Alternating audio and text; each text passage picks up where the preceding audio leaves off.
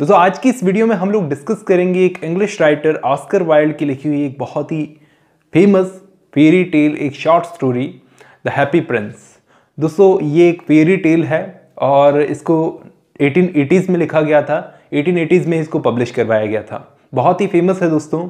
वैसे एक बच्चों की कहानी है। वैसे ये एक बच्चों की कहानी है, लेकिन बहुत ही इंटरेस्टिंग है। शुरू करते हैं। इस कहानी की शुरुआत होती है एक बहुत बड़े स्टैचू से। एक मूर्ति जिस पर सोने का पानी चढ़ा हुआ है। ये स्टैचू इतना बड़ा है कि पूरा टाउन देख सकता था इस स्टैचू को और ये स्टैचू देख सकता था उस पूरे टाउन को। उस पर सोने का वर्क चढ़ा हुआ है। अब उसकी आँखें बनी हुई है नीलम के पत्थर से। इंग्लिश में सेफायर्स बोलते हैं गहरे नीले रंग का कीमती पत्थर और उसकी तलवार पर, तलवार के हेल्ट पर रूबी लगी हुई है। जो भी उस स्टैचू के पास से गुजरता है, उस स्टैचू की बहुत तारीफ़ करता है। इस टाउन के काउंसलर्स जो थे, वो भी स्टैचू की तारीफ़ करते थे। हालाँकि इन सबको अपनी रेपुटेशन बहुत प्यारी थी। ये लोग हर उस चीज़ को इग्नोर कर देते थे, जो इनके लिए बेनिफिशियल नहीं होती थी। तो ये लोग भी इस स्टैचू की तारीफ़ करते थे अपनी रेपुटेशन को बचाने के लिए। एक दिन, एक स्वैलो बर्ड उड़कर यहाँ पर इस सिटी में आती है। ये बर्ड इजिप्ट की तरफ़ जा रहा था। तो इसको एक रीड बर्ड से प्यार हो गया था, लेकिन वो रीड बर्ड इसके साथ ट्रैवलिंग पर नहीं आया तो ये स्वेलो अकेला पड़ गया। और यहाँ पर आकर ये इस स्टैचू के नीचे बैठ गया। ये स्टैचू है दोस्तों हैप्पी प्रिंस का। इसके नीचे बैठ गया और रेस्ट करने लगा। अचानक इसने क्या देखा कि इसके ऊपर पानी आकर गिरा। इसने देखा कि बारिश हो रही है, इतनी क्लियर नाइट में। कोई आसमान में बादल नहीं है। तभी उसकी नज़र पड़ती है हैप्पी प्रिंस के स्टैचू पर। वो स्टैचू रो रहा था। तो ये स्वेलो बर्ड उड़कर उसके फेस के पास गया और उसने अपने आप को इंट्रोड्यूस किया कि मैं स्वेलो हूँ। तो वो बोलता है, मैं हैप्पी प्रिंस हूँ।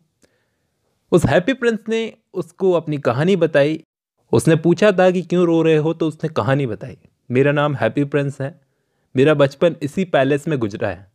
इसी महल के अंदर गुजरा है। इसी गार्डन की ऊँची ऊँची दीवारों के अंदर मैं खेला हूँ। बचपन में मेरी लाइफ में मुझे हर टाइप का प्लेजर मिला।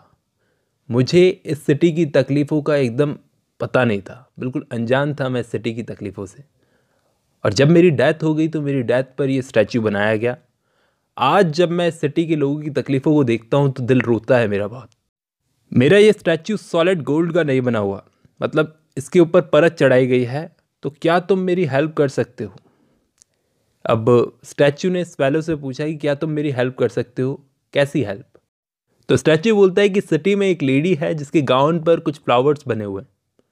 और वो अपने छोटे से, गरीब से घर में रहती है। उसके बीमार बेटे के साथ में वो रहती है तो उसकी हेल्प करनी है। ये स्वेलो बर्ड उस स्टैचू की तलवार में से रूबी निकाल कर उस लेडी को देने गया, उस स्टैचू के कहने पर। जब ये बर्ड रूबी देने जा रहा था तो इसने देखा कि रास्ते में कुछ ओल्ड ज्यूज़ बार्गेनिंग कर रहे थे आपस में। अब रूबी उसने दी, उसके बाद उस बीमार बच्चे को अपने पंखों से हवा की और रूबी देकर जब ये वापस लौटा तो वापस आकर ये थोड़ा गर्म फील करने लगा। सर्दी के मौसम में भी ये गर्म फील करने लगा, क्योंकि उसने अच्छा काम किया था तो उसे गर्मी मिल रही थी। अच्छा तो अब उसे इजिप्ट जाना था तो हैप्पी प्रिंस को बताता है कि इजिप्ट में क्या क्या होगा। तो हैप्पी प्रिंस उस बर्ड से बोलता है कि मत जाओ, अभी मत जाओ, मेरा एक और काम कर दो। मुझे तुमसे और हेल्प चाहिए। यहीं रुक जाओ, मेरी हेल्प करो। तो वो बताता है कि इस सिटी में एक यंग प्ले राइट है, एक यंग ड्रामेटिस्ट, जो छत पर अपने कमरे में सर्दी में काँप रहा है। तो उसे अपना प्ले ख़त्म करना है, क्योंकि उसे एक थिएटर डायरेक्टर को देना है, लेकिन सर्दी बहुत है, वो लिख नहीं पा रहा। तो जाकर उसकी भी हेल्प कर दो। स्वेलो बर्ड मान जाता है। ये एक और रात यहाँ पर रुक जाता हूँ। उसने क्या किया? हैप्पी प्रिंस की आँखों में से एक आँख में से वो नीलम का पत्थर नोच लिया और उस प्ले राइट को जाकर दे के आया। अब की बार जब वो लौट कर आया तो उसने अब की बार प्रिंस से विदा लेने की कही।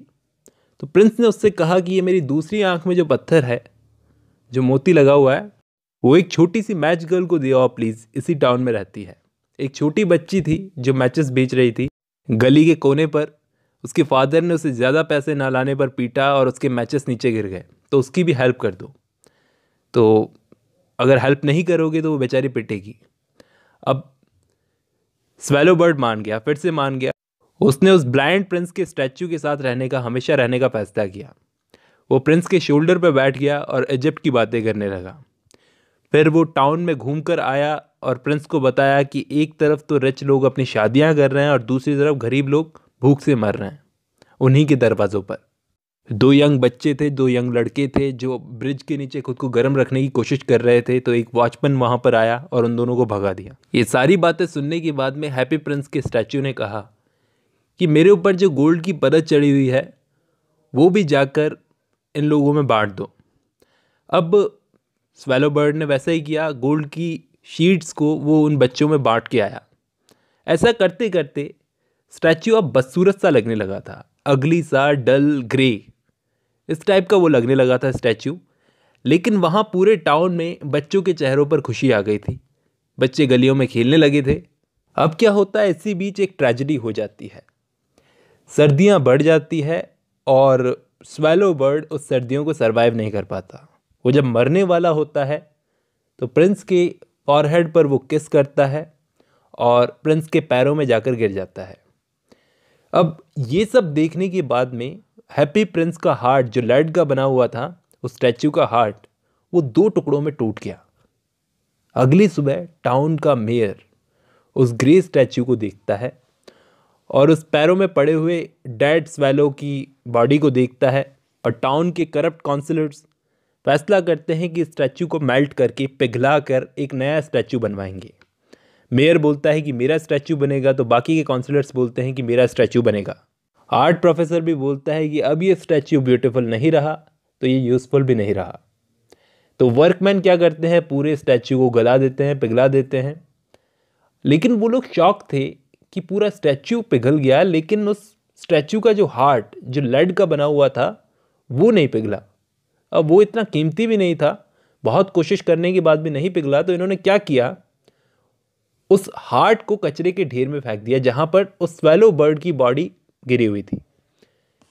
अब ऊपर वाले ने, खुदा ने, अपनी दो एंजल्स को भेजा कि जाओ धरती से दो मोस्ट प्रेशियस चीज़ें लेकर आओ। वो एंजल्स ने इन दो चीज़ों को लेकर वापस लौटी। तो गॉड बड़े खुश हुए भगवान बड़े खुश हुए। इसके बाद उस हैप्पी प्रिंस और स्वेलो बर्ड को जन्नत में भेजा गया उनकी सेक्रीफाइस के लिए। इसी के साथ में दोस्तों, ये स्टोरी खत्म होती है। इस वर्क में ब्यूटी और मॉरलिटी को दिखाया गया है ऑस्कर वाइल्ड ने।